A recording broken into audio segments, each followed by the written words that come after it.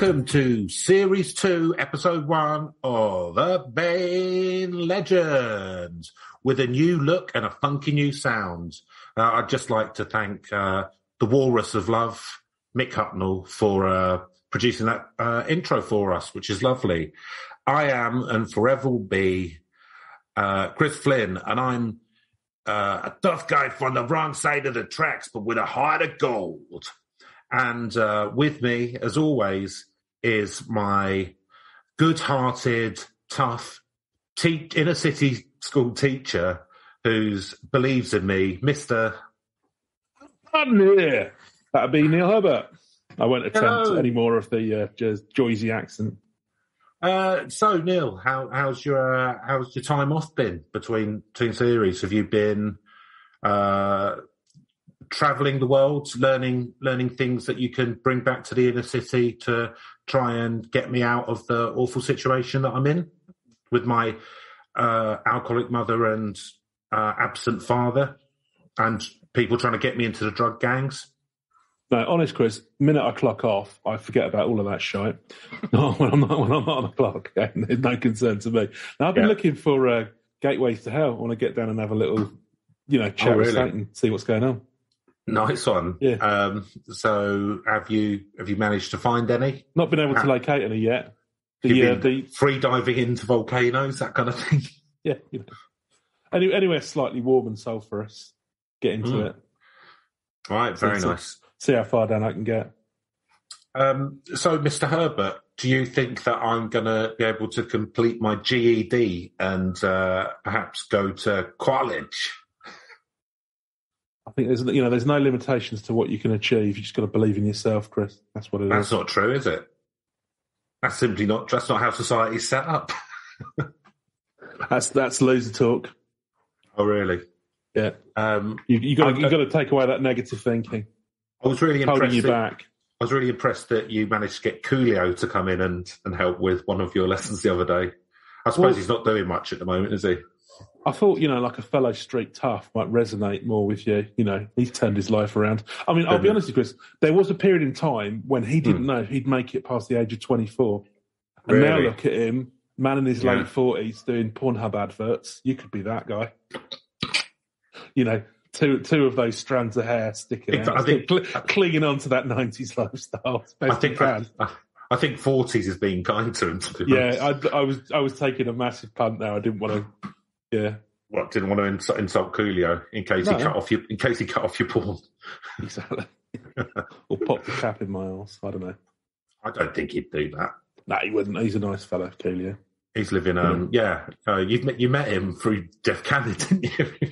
Yeah, you know. Got him down to the inner city schools. Um, so, uh, Neil, as you know, I, He's, a, um, he's a kind of homie, you know. Playing in the streetlights, Chris. I look up to that kind of behaviour. yeah, he, he does prayers in the streetlights, doesn't he? yeah. I'm doing just you know anything I can remember from uh, from that Stevie Paradise. Wonder cover he did. Yeah, Gangster Paradise. That was it. Thank you. Um, Neil, as you know, uh, I do, I obviously just do this for the money and prestige. Yeah, but my actual my actual day to day job is television critic for the Daily Express. Oh. Um, You've been reviewing a lot of Diana um, Yeah. documentaries recently, actually. yeah, no, but it's it is. I'll be honest, it's mainly that and the um, the editorial rules which we're given is if it doesn't have Diana in, give it a one star. Yeah. Or Um, Diana or Nigel Farage, presumably. Yeah, or Piers Morgan. That- Anyone, yeah, if it's, Diana anyone- or anyone objectionable.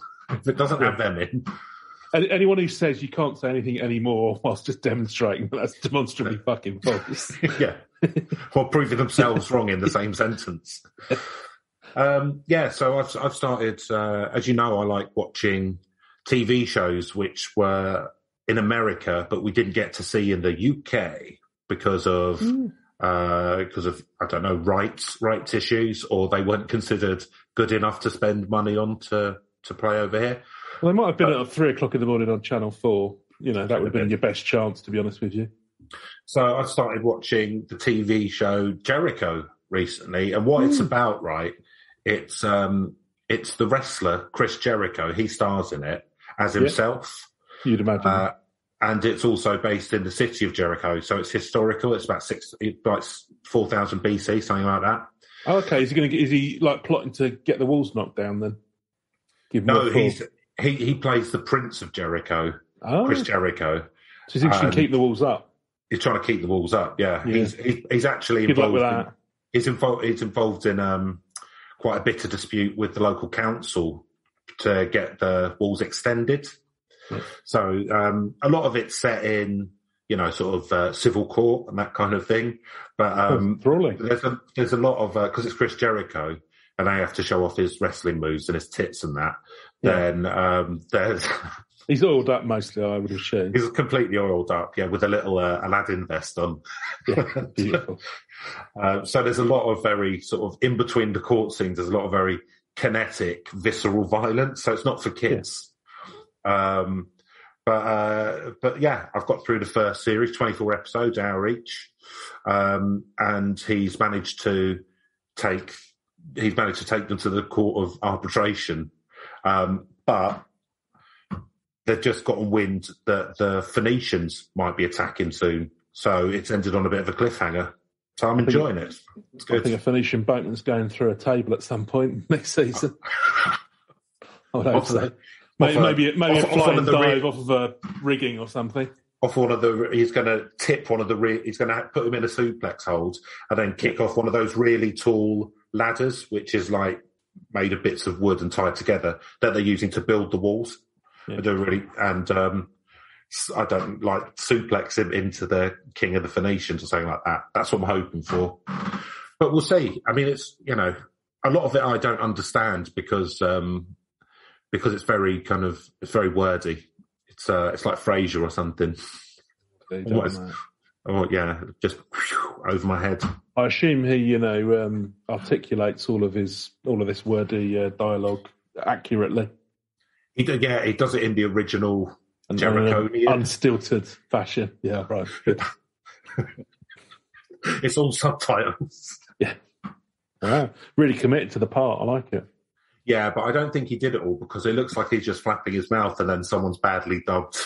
It just looked like one of those Italian movies from the seventies. They just yeah, spoke look- whatever language. like, He's just really screaming wrestler things, and they're just somebody just with no yeah, attempt to lip sync at all. It's just, but yeah, yeah, or like an early an early kung fu movie or something Yeah. like that. Um, cool. Well, so yeah, I um, you know, I've had to give it a one out of out of uh, out of a hundred in the in the Express, but uh, I'd personally say it's worth a watch. So, a little Mm. tip for everyone there.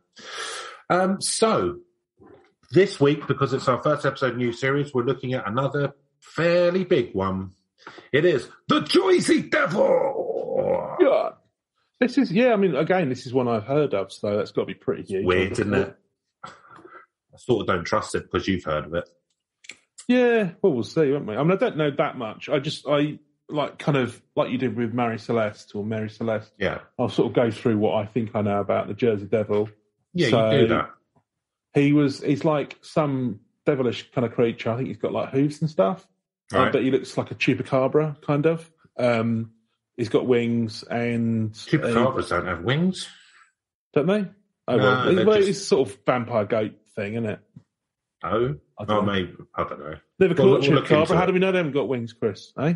Anyway, I mean that might be why they're so hard to spot because they're flying away. So you know, Yeah, because large flying things are much more difficult to spot than They things in woods. Um, yeah, lives in the Pine Barrens um, Hmm. in New Jersey, um, and then harasses people. And they made a there was like a found early found footage film. I think it was before Blair Witch Project even actually. Um, Really? the last broadcast that was based around the Jersey Devil. Yeah, yeah. I seem Oh. to remember there was a bit of a stink at the time that they reckoned that the um, Blair Witch people had ripped off the idea from the people who did the last broadcast. They did. I think it's just coincidence. No, um, yeah. Well, no. He's yeah. So he's well, basically no, but he's been in a bit of media, hasn't he? So he's Yeah. he's been in he's been in a that. few. Yeah, he's got books and that. He's been in a few films. I, should, I think he might have been in the X Files. I think they might have done a, an episode called Probably. The Devil or the Barons or something.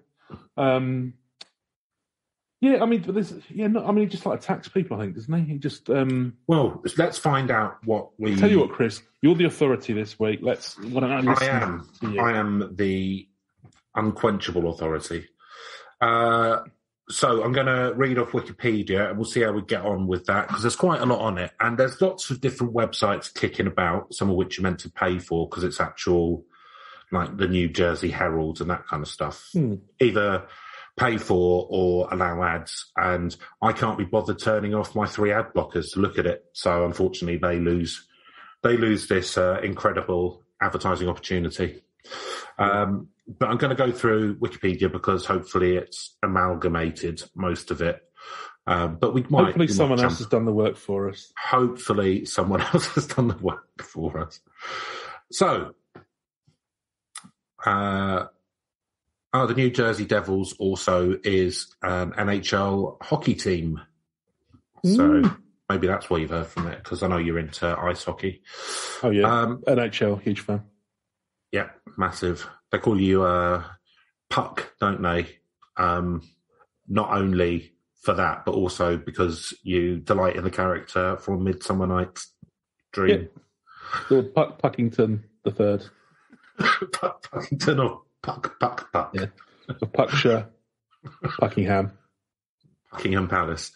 Yeah. We. So, in the southern New Jersey and Philadelphia folklore, Actually, Puck, United. been the, Puck looked a bit like the Jersey Devil, didn't he? Yeah, like Yeah. goat's head, didn't he? There you go. Yeah. Was it donkey's head? No, it No, he had a head, wasn't goat's head because he was. Ba- yeah, that was like the old rooting and tooting with your flute in, having a goat's head, prancing about. So I'm going to carry on, Neil, so I don't have to edit out massive Right. amounts of silence while you look up Shakespeare. I'm just gonna, stuff. yeah, just marry. I'm just gonna look up the uh, plot of Midsummer Uh, Dream. the Jersey Devil, also known as the Leeds Devil, is a legendary creature said to inhabit the Pine Barrens in South Jersey. The creature is often described as fly, a flying biped with hooves, but there are many variations. The common description is of a bipedal kangaroo-like or wyvern-like creature with a horse or goat-like head, leathery back-like wings. They say like a lot in this. Uh, horns, small arms with claws, hands, legs with cloven hooves, and a forked tail. It has been reported to move quickly and it often described as emitting a high-pitched, blood-curdling scream. Nice.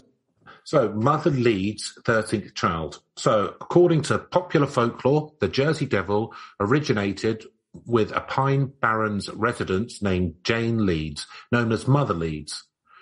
The legend states that Mother Leeds had 12 children, and after finding out she was pregnant for the Now, 13th uh, she's called Mother time, Leeds.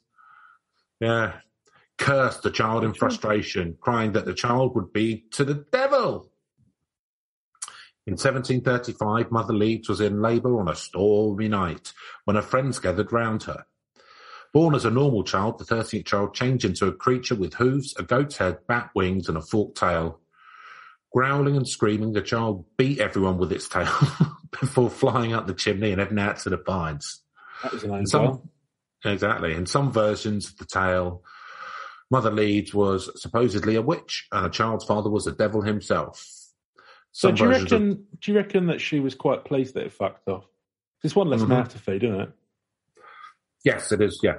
Yeah, I reckon.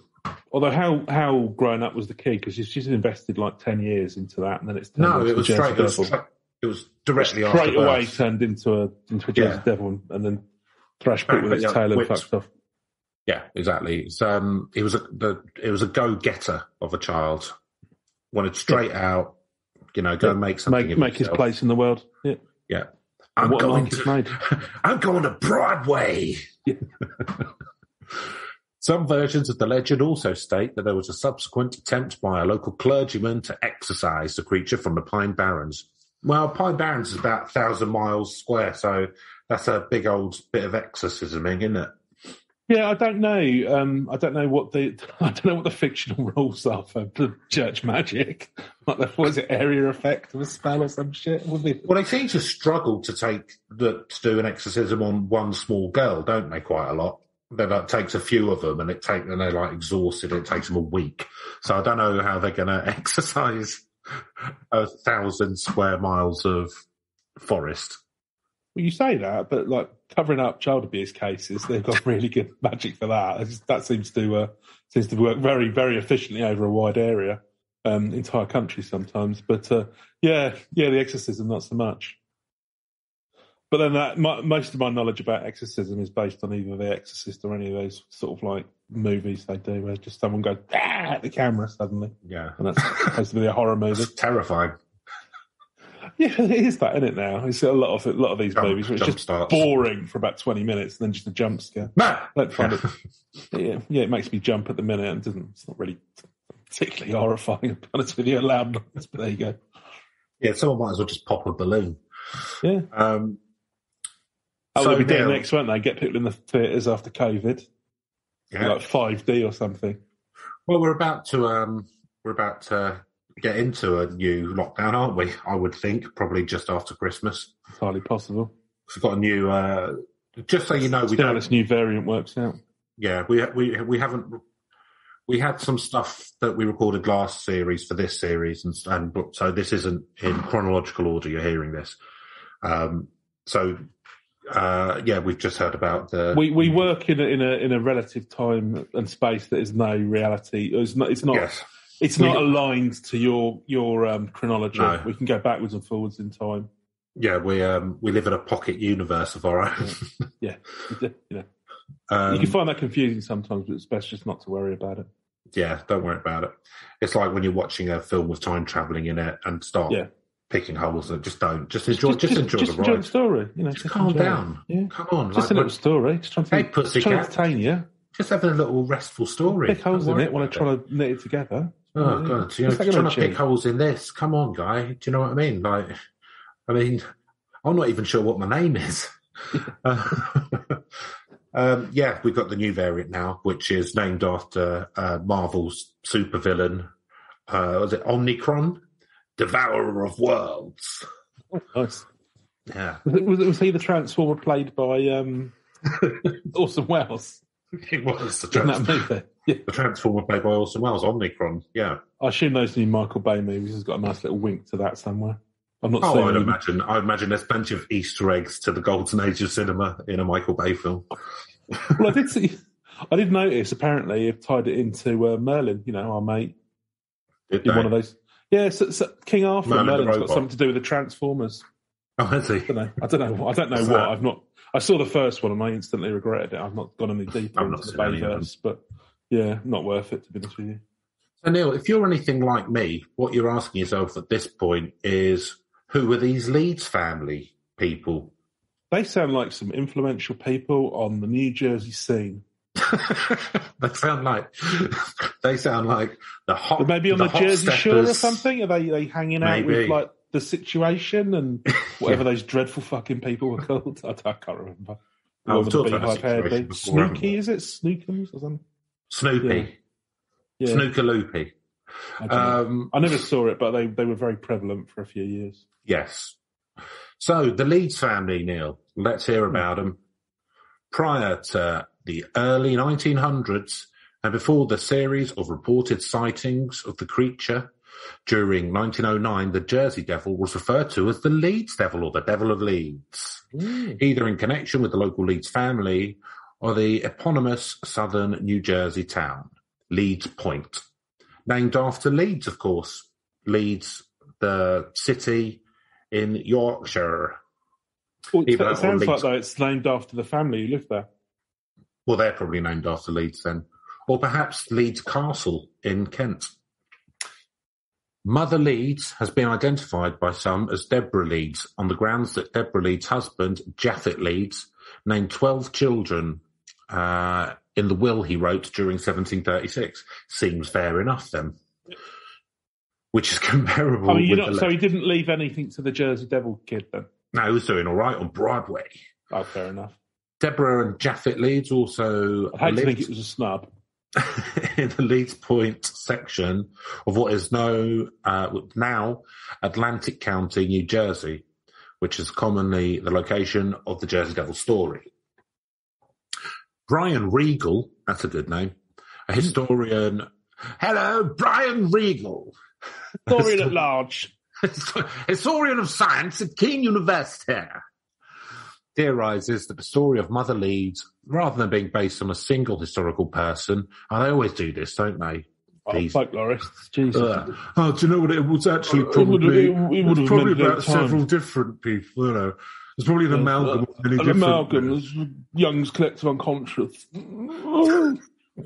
Despite the fact that there was someone called Deborah Leeds who had twelve children, and it's in the record, and lived in like Leeds Point. Nonetheless, no, no, no, no, no, no, no. It was was like, only uh, one thing. My favourite was that story in the Mary Celeste episode we did. He just made up some shit. He got mad and slaughtered the crow. And then just like presumably sobered up and went, oh yeah, fuck, I shouldn't have published that. sorry, sorry, apologies. Apologies. Apologies, but I was, uh, I was, I was, I was deep in the tonics. So Yeah, actually, it was probably more of a more of a pep tonic in those days. yeah, some 20 style. Yeah. Cocaine Yeah. binge. So rather than being, so there was a story of Mother Leeds, rather than being based on a single historical person, originated from the colonial southern New Jersey, religio-political disputes that became the subject of folklore and gossip amongst the local population. Fuck off. Well, it sounds like this Leeds family. This is a bit Hatfield and McCoy. So it sounds like there's quite a lot of them, and they're not too popular. Well, because you could Well, imagine. we don't know yet. Like- Well, I, well, no, we don't know yet. I'm, but I'm, I'm just theorising. So I'm just wondering, you know, like maybe they weren't that. Just like they were them quite off. rich. Well, you know, because if you've got like a rich family who own a lot of land, you don't know if they're rich. Yeah, they named half of the bloody county after them. No, I mean Leeds Point section of what is now Atlantic County. Leeds Point could have just been a farmstead. Yeah, We'll get, we'll get, get on. They seem, they seem to be quite um, high and mighty to me, but uh, we'll, we'll see. I feel like you've read ahead, Neil. That's what I feel like, which is rule number one of Pod Club. Prepared. With the opposite of the scouts. You, got- you know, you, you try and you try and uh, you know deprogram yourself from that scout training, it's hard. well, yeah, Yeah. a lot Not that I of was, not that I was in the lot, scouts. was lot of um, lot of missing time during those years. Yeah.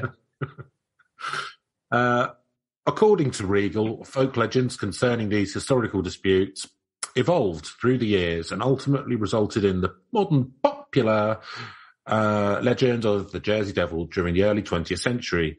Regal contends that colonial area political intrigue involving early New Jersey politician Benjamin Franklin, Franklin's rival almanac publisher Daniel Leeds, uh, 1651 to 1720 results in Leeds family being described as monsters.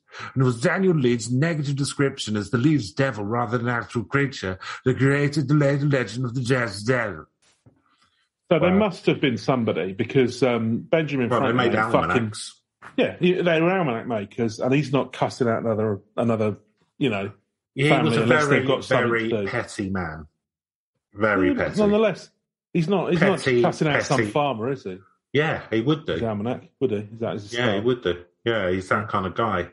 Oh, this He's right little NIMBY, was Franklin. Much like Mother Leeds of Jersey Devil myth, Daniel Leeds' third wife had given birth to nine children, a large number of children, even for the time. Leeds' second wife and first daughter had both died during childbirth. As a royal surveyor with strong allegiance to the British Crown, Leeds had also surveyed and acquired land in the Egg Harbour area located within the Pine Barrens. The land, uh, sorry, Egg Harbour is just making me laugh. Uh, the land was inherited.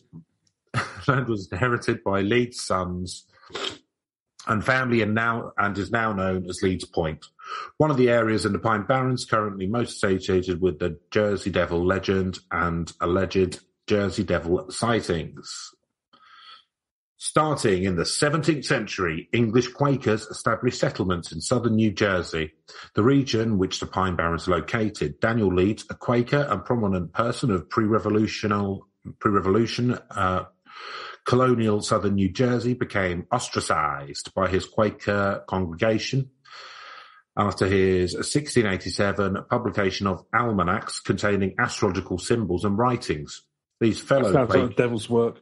yeah, these What is what is this strange writing? I'm just I'm just writing down the stuff I know, you can I know see if Ken you is look devil's folk. These fellow Quakers. Control the skies, it's magic. the Lord forbid it. These fellow Quakers deemed the astrology in these almanacs Thou hast as led us on the path to the devil. Out with thee. they were too pagan or blasphemous. Yeah, damn right. The almanacs were censored and destroyed by the local Quaker community. Predicts the coming of the sun in the morning. It's the devil's work. You're ruining the surprise. I never know if the sun's coming up or not. I sit, I sit there all night, shitting myself. God's intent when the sun will rise. Don't, I don't know where this accent's going. Doesn't mind. Let it go it. It's a New Jersey pre-colonial accent. Yeah, very accurate. You'll find. Uh, so, in response to and in spite of this censorship, Leeds continued to publish even more esoteric astrological You're Christian writings. down. Don't you worry Yeah. about it. that became increasingly fascinated with Christian occultism, Christian mysticism, cosmology, demonology, angelology, and natural magic, which I'll is the name of my second album. Yeah, it's it's not not a bad not a bad one. And I'll be honest with you, Chris. This is the sort of thing that gets you a Jersey Devil. This kind of behaviour. Yeah. You know, the sort of forces you're going to unleash on one of your descendants. You know that and that, and then they then cuss out their own son as they're giving birth to it. Well, no, you'll mix. Well, we'll see. I'm not sure.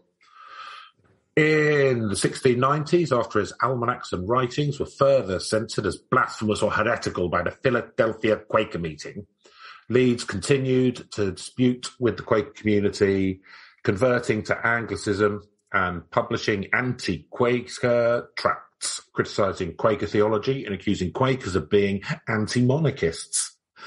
In the ensuing and they know that the king is a direct representative of God on earth, or is that the Well- Pope? I always get confused about those. Well, in Anglican. Oh no, well, not since Henry VIII sorted that one out.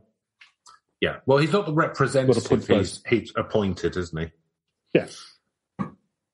Uh, so, in the ensuing disputes between Leeds and the southern New Jersey Quakers over Leeds' accusation, Leeds was endorsed by the much maligned British Royal Governor to New Jersey, Lord Cornbury. Yeah. Lord Cornbury here.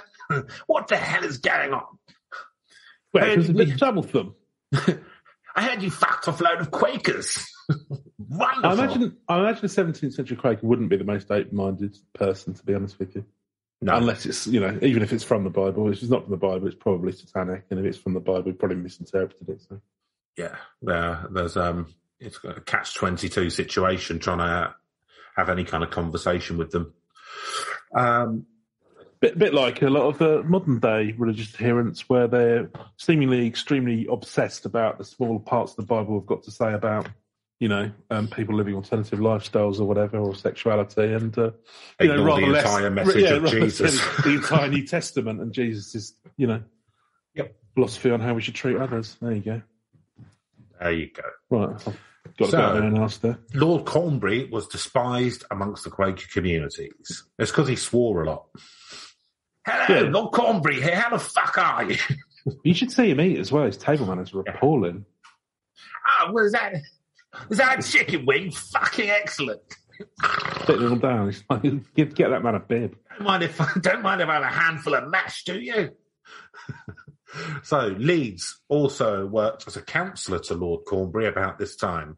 Considering Leeds as a traitor for aiding the crown and rejecting Quaker beliefs, the Quaker Burlington meeting of southern New Jersey subsequently dismissed Leeds as evil.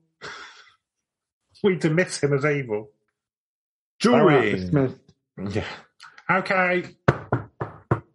This is the Burlington meeting of the Southern New Jersey Quakers. Uh, first point of order.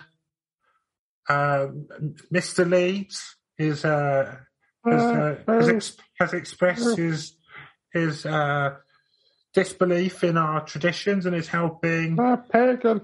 Lord Cornbury, who swears all the time, I I propose that we I propose a motion that we dismiss, dismiss Leeds as evil.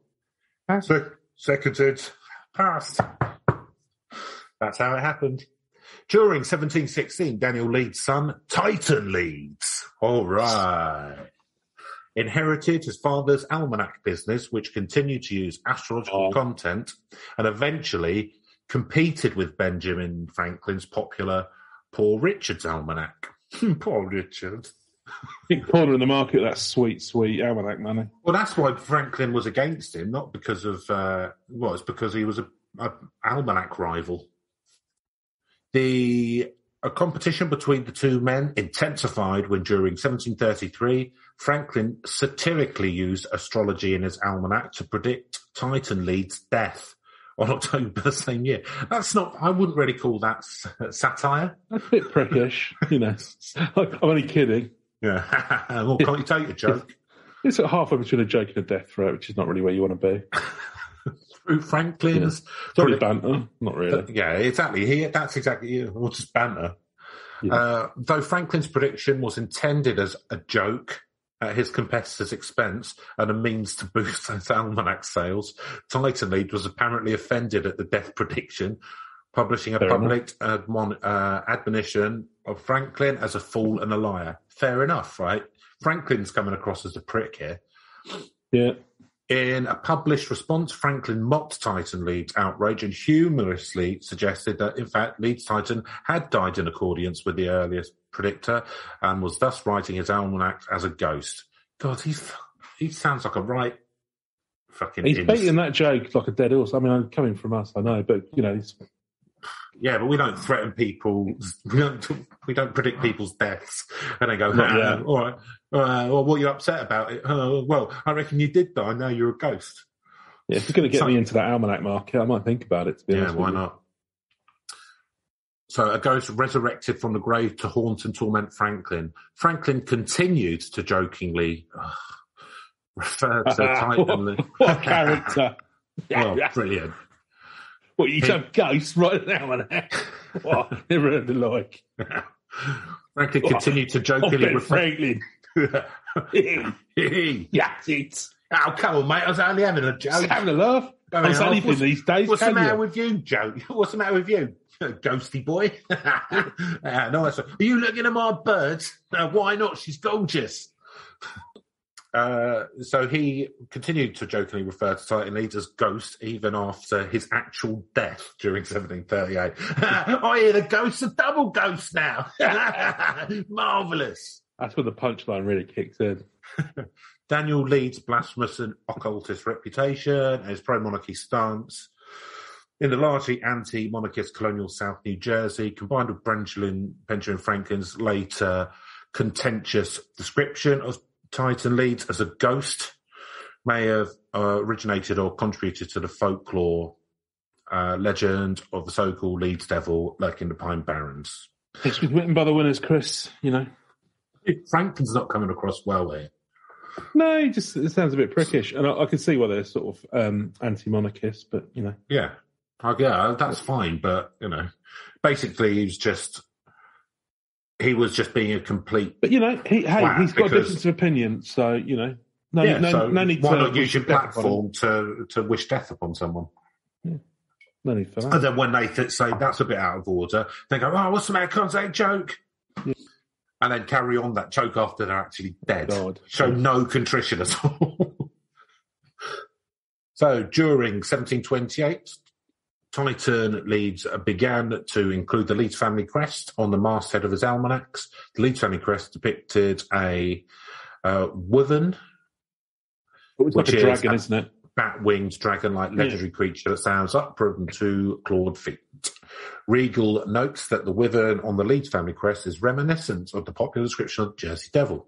Mm. The inclusion of his family crest on Leeds Almanac may have further contributed to the Leeds family's poor reputation amongst locals and possibly influenced the popular description of the Leeds Devil or the Jersey Devil. The fearsome appearance of the crest wyvern and the increasingly uh, animosity among local South Jersey residents towards royalty, aristocracy, and nobility, with whom family crests were associated, may have helped facilitate the legend of the Leeds Devil and the association of the Leeds family with devils and monsters. If I was Ben Franklin, I would have been putting around the rumour that um, this fella had fucked a wyvern. Mm-hmm. Yeah, and that's what that's how he got. That's how he got his. Um, That's how we got a Jersey Devil running around people. that's how he got astrological attacking the week. Yeah. Well, but I'm now starting to wonder. Do you think, with his, you know, his advanced knowledge of almanacking and astrology Yeah. um, and science, do you think he was just massively ahead of the eugenics game and he created like a half man, half woman? I reckon it was probably uh, the CIA. Yeah, really early. CIA. yeah. What were they called before they were called the CIA? Well, I think this, there was the Culper ring, which was around. I think that, that was like a revolutionary spy ring, Oh, right. and Oh, that okay. evolved into the sort of Secret Service, which kind of.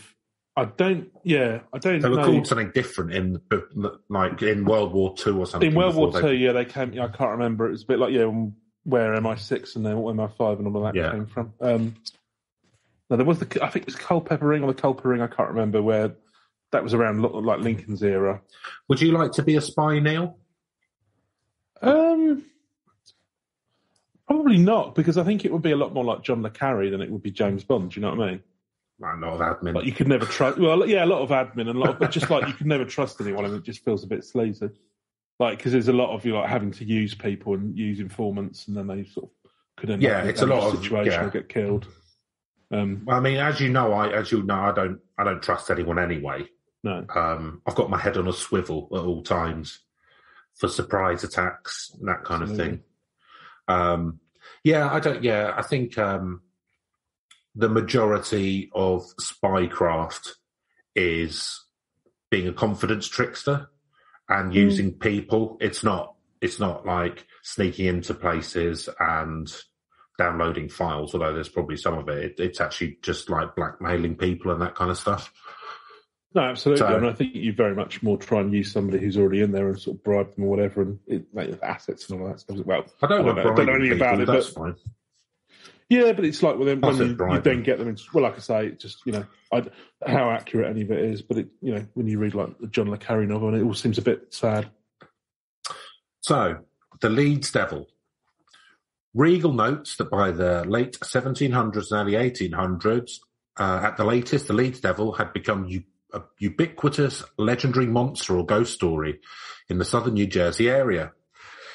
Into the mid 19th century, stories continued to circulate in the southern New Jersey of the Leeds Devil, a monster wandering the pine barrens, and an oral tradition of Leeds Devil, a monster slash ghost story subsequently became established in the Pine Barrens area.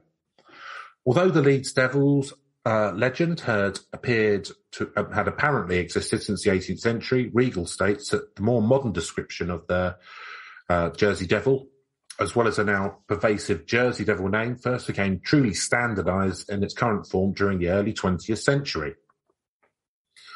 It's Okay, probably so probably down to when people start actually writing it down in something other than a fucking Yeah. almanac, isn't it?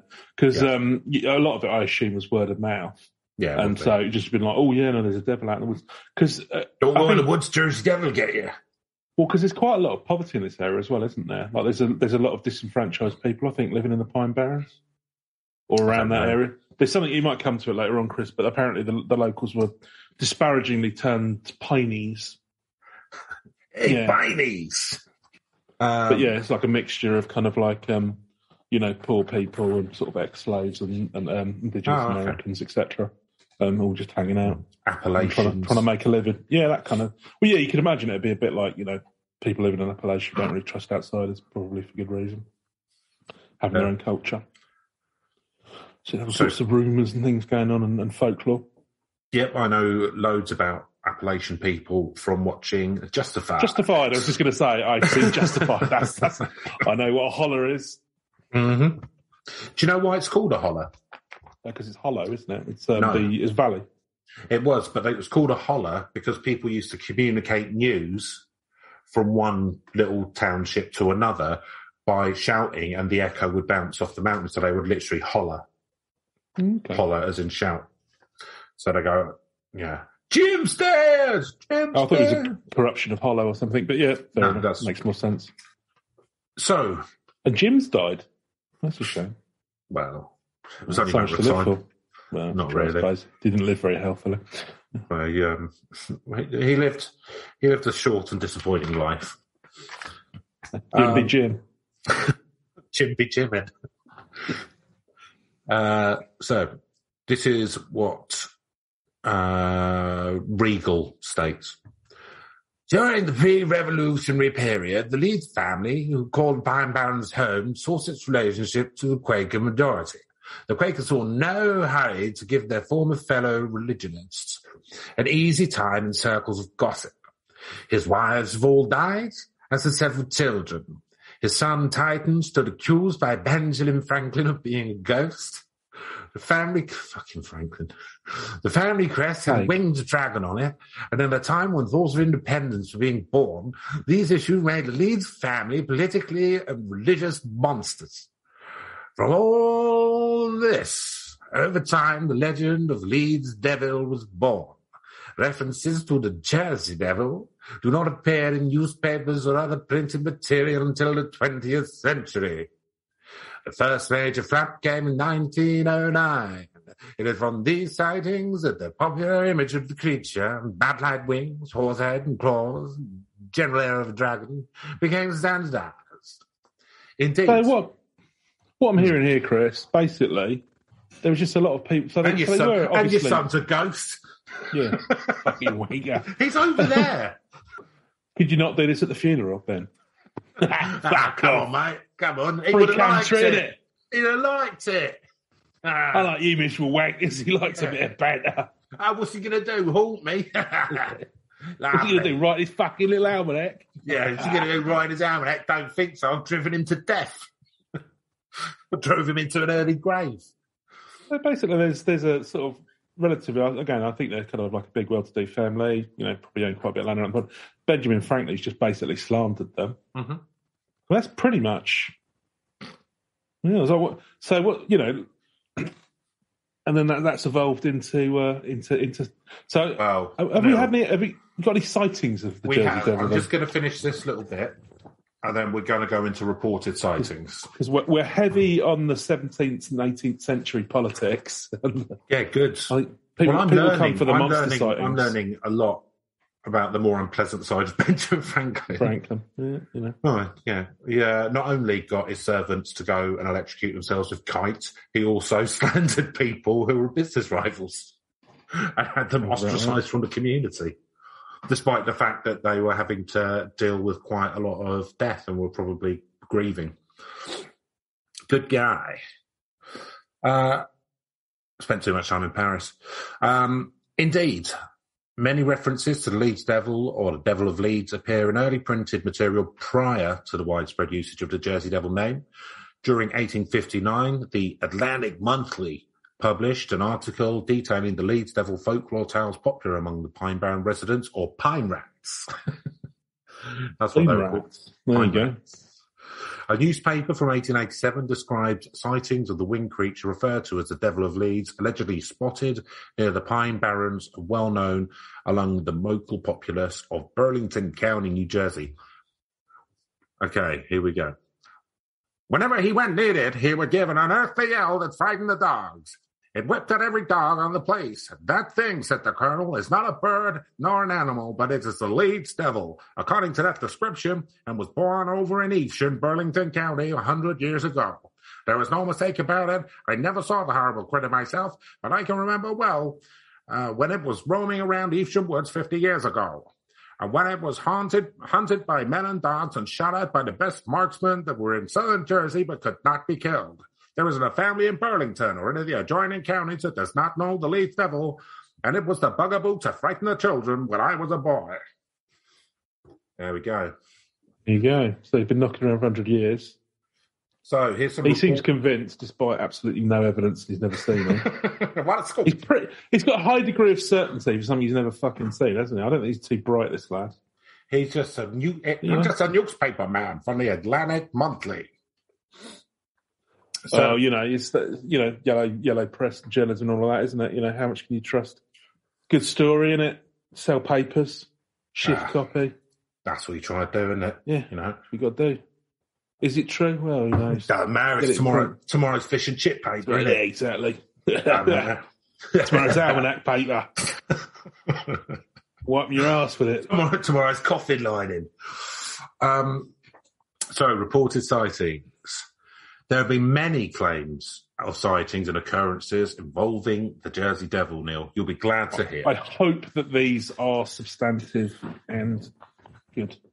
So, according to legend, while visiting the Hanover Mill Works to inspect his cannonballs being forged, Commodore Stephen uh, Decatur, Decatur, I don't know, sighted a, a flying creature and fired a cannonball directly upon it to no effect. Hmm. Nice. What can, are cannonballs that accurate that you can hit a flying creature? Um, yeah, I mean, they, you could. I mean, ships could fire at each other at sea, couldn't they? You could Ships, take down rigging yeah, and but a, a, a ship pulled a, a ship that you've pulled alongside No, but you'd fire at like rigging and things like that, wouldn't you? You could. You could potentially hit it. You're not going to be. It's not going to be a certainty, is it? But yeah, well. I just think a flying creature's moving quicker than a ship, isn't it? It's not a you just lead it, helicopter. don't you?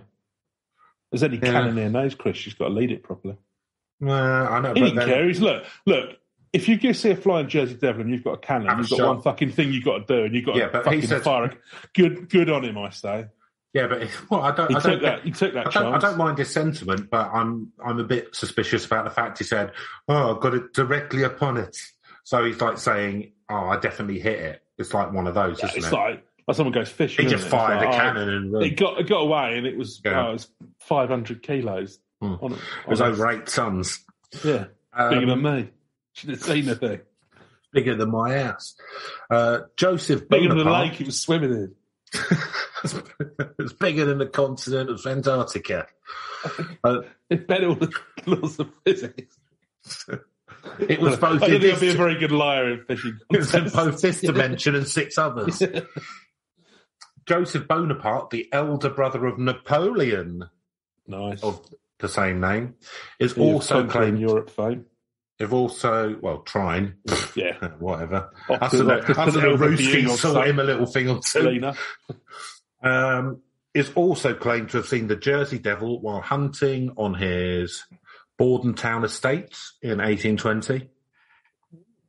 During the 1840 or during 1840, the Jersey Devil was blamed for several livestock killings. Several Seeing attacks a, a lot of reports has- was sent to be, done. and reportedly. So uh, let's get in the name of someone famous. So yeah, Mm. So similar attacks reported during 1841, uh, accompanied by tracks and screams, who were my favourite um, two-step garage act. Tracks and screams. oh, they were good. Craig David did a song with him, didn't he? He did a song with him, yeah. Yeah. Uh, It was on the out Greenwich, to the Artful Dodger. in, in Greenwich during December uh, 1925. A local farmer shot an unidentified animal as it was attempting to steal his chickens and then photographed the corpse. Afterwards, he claimed that none of the hundred people he showed it to could identify it. Oh, when it to be found. no. On a ship's not. Oh, I showed it to 100 people. How'd you explain that? Lunatic is what I explained that. Uh, on July 27th, 1937, an unknown animal with red eyes was seen by the residents of Downingtown, Pennsylvania, and it was compared to the Jersey Devil by a reporter for the Pennsylvania Bulletin. Uh, uh, right, we've got a clone who's red, red-eyed thing running around, and it can't be killed with conventional means. Is what I'm taking from this. How do we know it's not the devil himself? No. Um, go. In 18, uh, in 1951, a group of Gibbstown, New Jersey, New Jersey boys, they were the New Jersey boys, claimed to have seen a monster matching Devil's description, and claims of a corpse matching the Jersey Devil description arose in 1957. During the six, during 1960, tracks and noises heard near Mays Landing were claimed to be of the Jersey Devil. During the same year, the merchants around Camden offered $10,000 reward for the capture of the Jersey Devil, even offering to build a private zoo to house the creature if it was captured. It's nice, isn't it? That'd be a that'd be a good zoo exhibit actually. Here we got some alpacas, and here's a Jersey devil. So, so there was a wave of sightings in 1909, Neil. A wave of them. I mean, During. none of them seem to have been particularly substantiated, but yeah. No, well, I mean, if they were It doesn't, doesn't substantiated, to, be, to be honest, he doesn't seem to be up to much either because he's like, I was expecting he'd be sort of running around killing livestock, you know, No, bothering no. folk. No, he's he's just, out, Just, just out getting on with his his business, isn't he? He's, Yeah. just, he's just trying to live his best life. dancing. Just getting fucking harassed by all of these hicks. Yep. These, these fucking pine rats. Oh, Jesus. So, waves of sightings in 1909. During the week of January 16th, 1909 through January 23rd, 1909, newspapers at the time published hundreds of claimed encounters with the Jersey Devil from all over the state. Among alleged encounters publicised that week were claims the creature attacked a trolley car in Haddon Heights and a social club in Camden. Police in Camden and Bristol, Pennsylvania, supposedly fired on the creature to no effect. Other reports initially concerned, uh, yeah, initially concerns unidentified footprints in the snow, but soon the sightings of the creature resembling the Jersey Devil were being reported throughout South Jersey and as far away as Delaware Yeah, see, now, and West Maryland. see, that sounds to me like that one you were talking about earlier, where they fired upon it from some was it was it a club or something? Uh, Where were what- The police in Camden and Bristol Yeah. supposedly fired upon it. Where were they though? Uh, it doesn't say where the ones in Bristol were, but it did say that he attacked a social club in Camden. Yeah, that was the one that got me to the social club. So I just wonder if they're having a few bevies. Near Like Camden discharges their arms. Yeah, yeah, around Camden Lock. Lock. You know, bought, bought some bought some bad weed from geezer around Camden Lock. You know, fired off their guns, got a bit of bullet, and it's like, what Some cheap whiz. What are you playing at? It's like, I was Jersey Devil round there. Hmm. The guns had no effect though. Ah, I reckon they're just making that up. They were just on. They were just on cheap acid and were Yeah, shooting at like um one of the mannequins with like with a coat on outside Cyberdog. um. So the I mean, wise- Jersey Devil went down Camden, London. He wouldn't really bat an eyelid, would wouldn't you? bat an eyelid. He'd be made mayor. The widespread newspaper coverage created fear throughout the Delaware Valley, prompting a number of schools to close and workers to stay home. That's a grift. Vigilante groups and groups of hunters roamed the pines and countrysides in search of the devil. God, people, I mean, there wasn't a lot to do, was there? During, I mean, it's, I think it's good for a community to have a big communal hunt every hundred years or so. Good bonding session. Yes, go and kick the shit out of something. During A this period, mythical creature. During this period, it's rumoured that the Philadelphia Zoo posted a 10 grand reward for the creature. The offer prompted a variety of hoaxes, including a kangaroo equipped with artificial claws and bat wings. Yeah, I think we should we should continue this tradition today. I think, Chris. Mm. For everyone who lives in the Preston area of Brighton, just go out and try and fuck up Pan or something. Yeah. I was spotted that flute playing cunt knocking around Preston Park. Just go give him a fucking shit. Yeah. um, we don't have weapons though, really, do we? What's the most weapon thing you've got in your house? I mean, I don't really like a baseball bat or cricket bats or anything like that. No, I don't. I don't have a baseball I've got, bat. um, Um, I've got a, a broken three quarter sized uh, DG bass that I could probably wield as a kind of yeah, I was going to say probably like take the neck off of a bass guitar or guitar. Um, that'd be that'd be all right. It's nice. yeah, the sellotape, chunk of wood. sellotape a knife to it. Yeah, yeah, I've got yeah, I've got a chef's knife. That'd be stabbing. that'd, that'd muck up Pan, I reckon. Yeah, throw some bleach in his face. Yeah. Um, so those are really Apologies the- to any of the uh, the Greek pantheon of gods who are listening. We love you, really. yeah, I love you really. I only having a joke, Franklin style. It's a bit better. Ghosts. Description: Skeptics ugh, believe that the Jersey Devil is nothing more than a creative manifestation upon the imagination of the early English settlers. Just Plausible, wasn't that creative, to be honest with you. plausible natural explanations include bogeyman stories created and told by bored pine barren residents, pine rats, as a form of children's entertainment. The byproduct of a historical local disdain for the Leeds family, the misidentification. Is this from Stating the Fucking Obvious Almanac? Yes, yes, it is. Yeah. The Just want to misidentification of known animals and rumours based on common negative perceptions of the local rural population of the Pine Barrens also known as pineys. Yeah, there you go. So. Pineys or pine rats. Nice. Yeah, pine. I don't know. They both sound quite bad actually. Pine rats I think are very nice. No. The frightening reputation of the Pine Barrens may indeed have contributed to the Jersey Devil legend. Historically, the Pine Barrens were considered inhospitable lands, gangs of highwaymen, such as the politically uh, disdained loyalist brig- brigands known as the Pine Robbers, were known to rob and attack uh, travellers passing through the Barrens. During, Reckon they look like Adam and the Ants? yeah, I reckon. That's pretty scary, isn't it? Dandy I'm an Highwayman. Andy Highwayman. um, during, yeah, it's just gangs of new romantics Yeah. roamed, roamed the Pine Barrens. Roaming the robbing Pine people. Barrens. Yeah. Uh, Give you a story to tell, though, wouldn't it? yeah, uh, we got accosted by some androgynous, tiny, tiny pop stars. They Um, just needed more money for eyeshadow. During the 70s and 80s, residents of the isolated Pine Barrens were deemed the dregs or outcasts of society.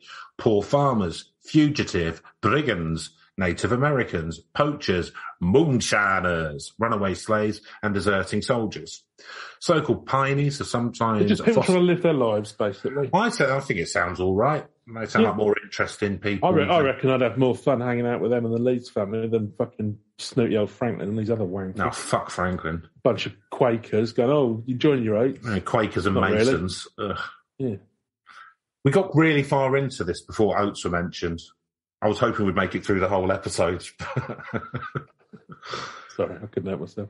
So-called pineys had sometimes fostered a certain frightening stories about themselves and the Pine Barrens to discourage outsiders or intruders from entering the Barrens. You can Nice. see that, can't you? Self self mythologizing. work. Good work. Pineys were further demonized and vilified after two eugenic studies. Ugh, there we go. Were published during the early 20th century, which depicted pineys as congenial idiots and criminals. As seen in research uh, performed on the Kallikak family by Henry H. Goddard, which is now considered biased and inaccurate and most likely falsified. It's weird, isn't it? Because usually eugenicists are normally good, upstanding people. Yeah, it's normally. Well, the, the problem is, history mean, has taught us. The dirty little history is, is that a lot of genetics does come originally from eugenics, but yeah, a lot of those people were quite scummy. But it was incredibly prevalent in the 20s and 30s. Mary Was. Stopes was, a eugenicist. The thing they never tell you. Yeah, Mary Stopes, um, the lady who sort of like, she was a pioneer of like female contraception and stuff like that. Never But one of the reasons was is because she was really into eugenics and uh, she uh, never spoke to I think I can't remember if it was her brother or sister, but basically married a short-sighted person. Um, you know, thus weakening the gene pool. Really, they should be allowed to die out. Short-sighted people, Chris. You know, I disagree with that. you know. Don't disagree with that at all. Uh, There you. I'm just saying, Neil. Just saying. Yeah. The, a poor understanding of genetic theory. It's it's about um, you know, it's about diversity of uh, of genes. Is what helps helps us survive as a species. Uh, so, Jeff uh, Brunner of the Humane Society of New Jersey thinks the sandhill crane is the best, is the basis of the uh, Devil Jersey Devil stories, adding there are no photographs, no bones, no hard evidence whatsoever, and worst of all, none, no explanations of its origin that don't require belief in the supernatural. Now, there's that weird crane. No, I don't think it's the sandhill one. There's a weird crane which is from Central Africa, which looks like it. Jersey Devil. Yeah, but it's not the Santa one. They're quite pretty. Hmm. Outdoorsman and author. Ooh, I'm an outdoorsman. And author Tom Brown Jr. spent several seasons living in the wilderness of the Pine Barrens. He recounts occasions when terrified hikers mistook him for the Jersey Devil after he covered his whole body with mud to repel mosquitoes. What what was he doing in what? He's an was it hunting? outdoorsman. He's just an okay. outdoorsman. Going Nutter. outdoors. Yeah. Yeah. Medical sociologist Robert E. Bartholomew and author Peter Hassall cite the 1909 series of sightings and the subsequent public panic as classic examples of mass hysteria begun by regional urban legend. We've seen a few of those in our time. Hmm. One New Jersey group called the Devil Hunters referred to themselves as the official researchers of the Jersey Devil and devote time to collecting reports, visiting historic sites, or going on nocturnal hunts in the Pine Barrens in order to find proof that the Jersey Devil does in fact exist. See, there's a few of them. It's like the Sasquatch hunters or Bigfoot hunters, isn't it? Like it's just something to do. Like When hobby. you first introduced the name, I was picturing them all having identical leather jackets with a patch on the back. Was now I'm thinking like a nice, well fitted tabard with uh, fluorescent stripes so that they could be Yeah. seen at a distance. GPS, Yeah, walkie talkies. possibly both. You know, Yeah. Uh, so, due in part to their isolated and underdeveloped nature, the Pine Barrens have themselves fostered various folk legends. Apart from the Jersey Devils, other legends are associated with the Pine Barrens. Supernatural creatures and ghosts are said to haunt the pine forest, including the ghost of the pirate Captain Kidd, who supposedly buried treasure in the Pine Barrens, is sometimes allegedly seen in the company of the Jersey Devil. supposedly at some time.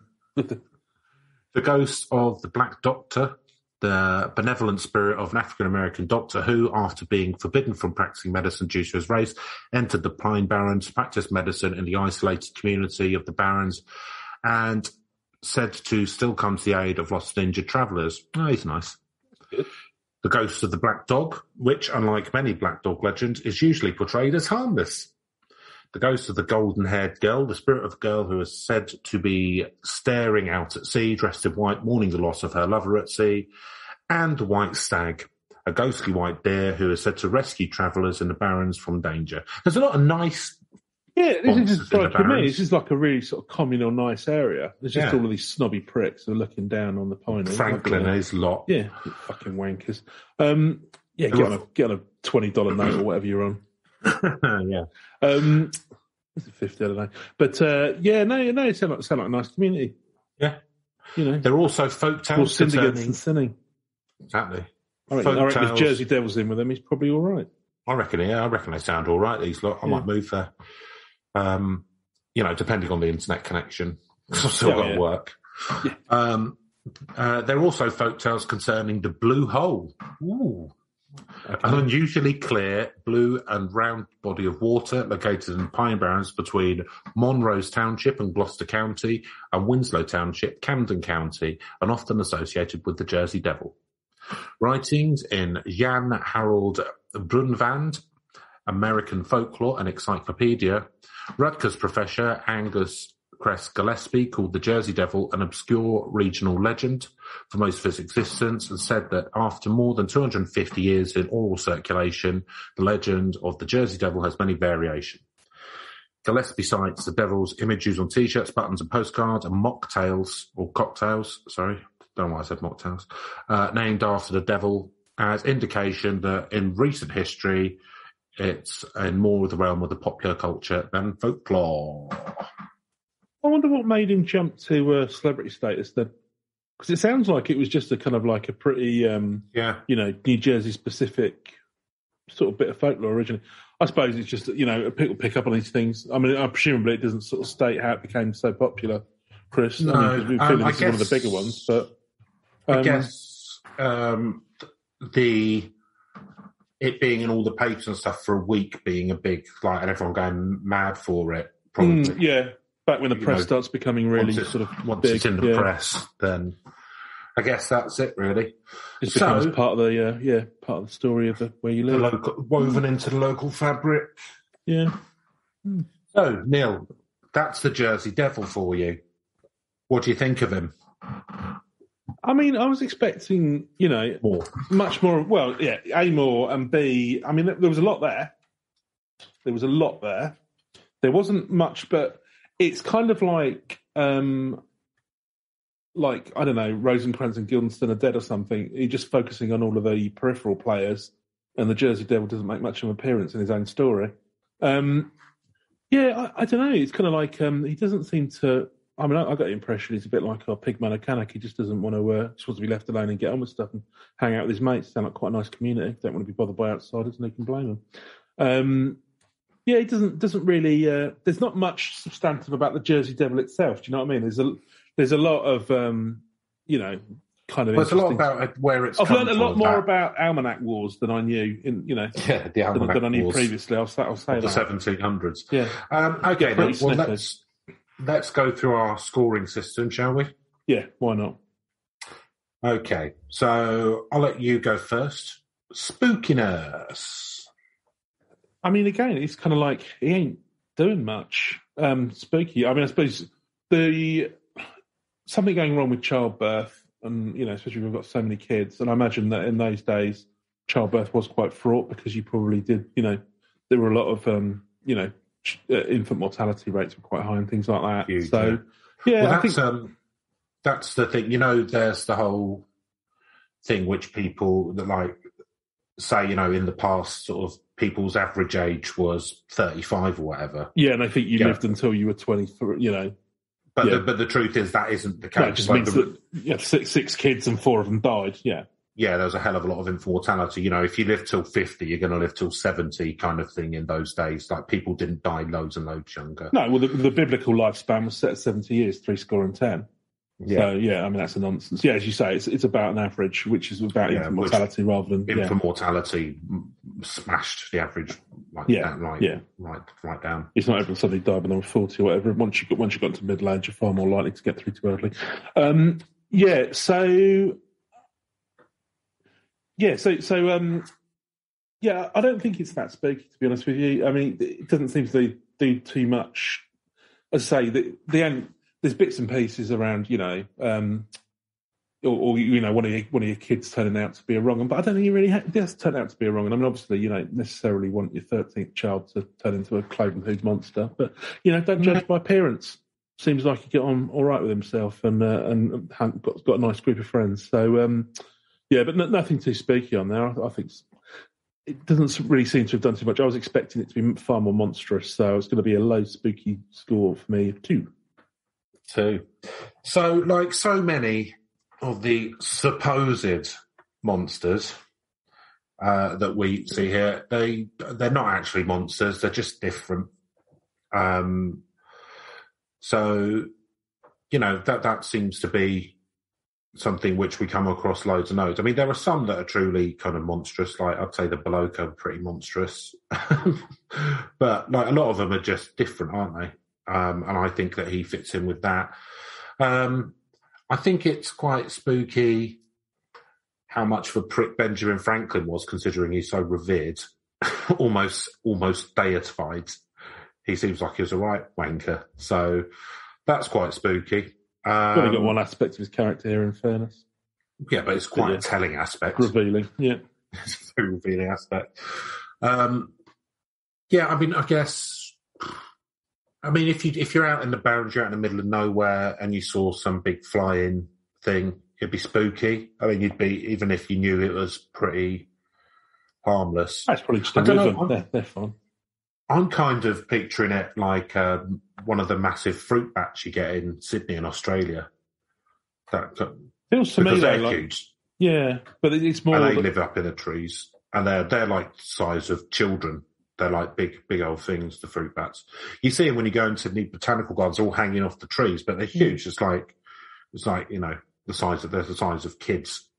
Um, so I kind of imagine it looking like that when it flew around. But yeah, I don't know. Um, there's nothing. I mean, there's very little to tie him in with the devil or anything, or any witchcraft or anything like that. It just seems to be either his mum cursed him or it's just slander. So it's not very spooky. So I'm going to give it a three.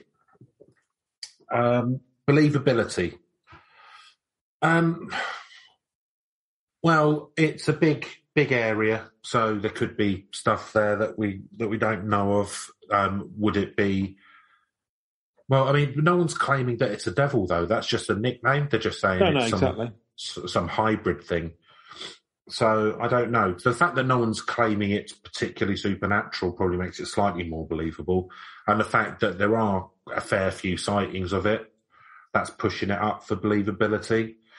Um, the story itself happened, you know, and be it Franklin or not, it's a. Do you know what? It's a really difficult one to get to, to get a grip on this because there is the light, the, where the story likely came from, which is people slandering this family, but then sort of separate to that, almost like completely separate, then there's a load of sightings and that kind of stuff.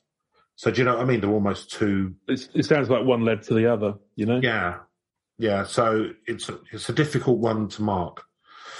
Um, I think I'm just going to give it a believability of the fact that they're not saying it's supernatural. There could be something there. It's a big area, so I'm going to give it a four. Yeah, so for me, and again, I don't believe that there is a Jersey Devil, but um, you never know. But um, no, it's um, it, so, but there's certainly there seems to be quite a few people who either do believe it or, or um, you know, rep- reported these things, and it's well, certainly in the past. Uh, you can imagine, you know, probably an area that's quite agricultural um, or you know rural that um, you know these kind of myths and rumors kind of persist, and it's like, oh well, you know, you mock it, but always and it's always a kind of like, well, you know, friend of a friend saw it. Well, I've never seen it myself, but I know full well. He thought it'd been knocking around for hundred years. Um, so it sounds like it's it's believable enough that what was probably just a piece of slander has started off, um, carried on for another two hundred odd years. So I've got to, I can't give it a low score really, um, because, and I think now it's much more of a kind of like sort of prestige kind of um, bit of folklore where it's you know it's part of the area, it's something you name your sports team after, etc., rather than a genuine belief. But the fact that it carried on, you know, for such a long time, um, some some people must have thought there was some substance there. So I'm going to give it a five. Five, okay. Uh, reach, Neil. Um, I mean, I'm going to have to go. I mean, I don't know whether this is just again me confusing the fact that I've heard of something with the fact that they are really famous, but I, I seem to recall this one being a big one. I mean, one thing is is the um, posterity argument that we always go to. So this has been around for hundreds of years, and it's not likely to to, to stop being a sort of a little rumour anytime soon. So um, it's definitely stood the test of time. I think it's something that's known throughout America, um, and I think pretty internationally as well. Certainly, sort of throughout Europe. So I'm going to give it a because I'm not quite sure exactly how widespread it is. I'm going to give it a seven. Yeah. So um, yeah, it's 250, 300 years old. Um, it's been in papers and stuff. I think it's known throughout America. It's got a NHL franchise named after it. There's lots of books after it. It's been in TV and, and that kind of stuff. Not sure how big it is globally, um, but yeah, I'm going to give it a seven as well. So, narrative slash premise. So, there are several narratives slash premises, really. Um, one being that sh- the mother cursed it. There's one that perhaps she was a witch and set the devil, or there's the hilarious old Benjamin Franklin just used his position. someone's dead son. Yeah. So, um, yeah, I don't know. Um, and then, and then nothing really. Some people see it now and then. You know, um, it might have attacked, it, just completely out of character. It might have attacked a trolley car, just after hundreds of years of inactivity. Just, you, know, you get bored and you just you just get, bored. Out. He, he might have he might have stumbled across one of the moonshine stills. Exactly. Yeah. You know. Um, Woke up the next morning, so regretted it bitterly. There's not. I mean, there, there's not a massive narrative. I mean, narrative for me really is around this kind of small and sort of out there community where lots of disenfranchised people who were shunned by society were able to go and live, and perhaps they made up some stuff or exaggerate some stuff to meet people, leave them alone. And I think that's you know not a bad not a bad idea. Um, and obviously the Franklin stuff's really interesting. So I'm going to give it a six. Neil. I'm going to go a bit higher here because, to be honest Whoa. with you, something like the Jersey Devil, I wouldn't expect much of a backstory. But actually, you've got the whole stuff with the Leeds family and all the rest of it, and the mm. you know the woman cussing out her son, and then you know you know that then instantly. So, so he's got a good, he's got strong origin, strong origin story, I'd say there instantly goes out his way in the world. And then he's got like a, a, group of mates as well who live around the same area. Um, so you know, you've got this poor community, but you've Captain got a load kids. of yeah, you know, nice little fellas like you know your doctor, Doctor Blake, who still treats people for free. You know, the ghost of universal healthcare or whatever he's called. Um, Black Dog, he's nice just hanging around, helping people out. Yeah, Sad the, lady, the the white, the white deer who helps travellers, lost travellers. You know, so I think he, uh, he's. I reckon you could do like a Marvel Universe style franchise series here. I reckon it's quite strong. Um, the, the, Yeah. There's the bones here for, for developing a good little good little universe. I The reckon. Pineys. Yeah, yeah, exactly. Yeah. Tinyverse. Pinyverse. So yeah, any any film studios interested in the treatment of that, you just give me a buzz. We'll sort something out. Um, Yeah. yeah, so I, I think I think there's there's the elements for a good narrative. Yeah, there's not that much on the face of it, but I think there's some strong some strong bits. So uh, I'm only going to give it a, uh, it's, but it's not yeah cohesive in itself. But I think good good elements for it. So I'm going to give it a seven. Okay. so that gives us an overall total of 37 Mm. out of possible 80. Not too bad. I think where the, the Jersey Devils fallen down is the fact that essentially he's he's not a bad fella. There's He's nothing too scary about Not enough Jersey Devil in your. Jersey Devil folklore. That's that's what I'd Yeah. say. Ah, okay. So, You know, get him to um, make a star appearance, and then you.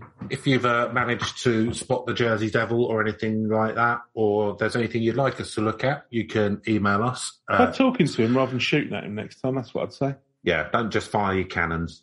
Um, so it's herb.legends.podcast at gmail.com.